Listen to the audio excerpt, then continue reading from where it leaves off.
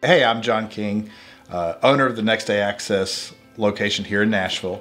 Uh, started in 2014. So the majority of my background has been prior to Next Day Access was actually in uh, investments and banking, with my last job being a trust officer. So nothing to do with this industry at all.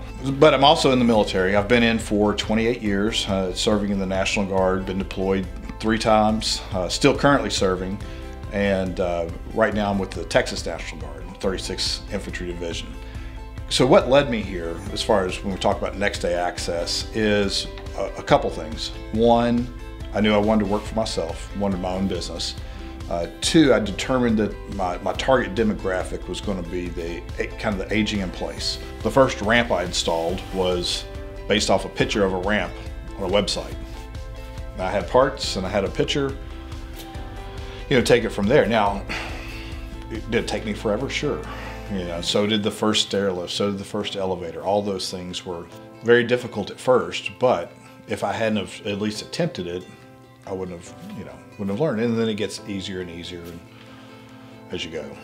My grandparents were going through this process personally. So, yeah, they need a wheelchair ramp, they need grab bars, they need, you know, these home modifications.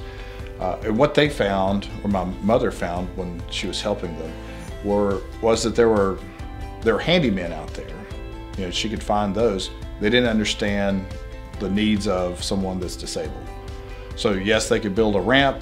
It's the wrong slope. Yes, they could put in a grab bar, but they don't know exactly where to put it. So you never could marry up a technician that understood, a technician that can do the work plus someone that understands the needs. You know, you just couldn't find that person.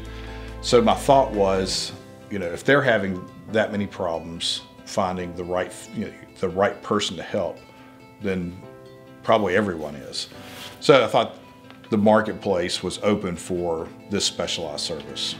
So that's what got me here.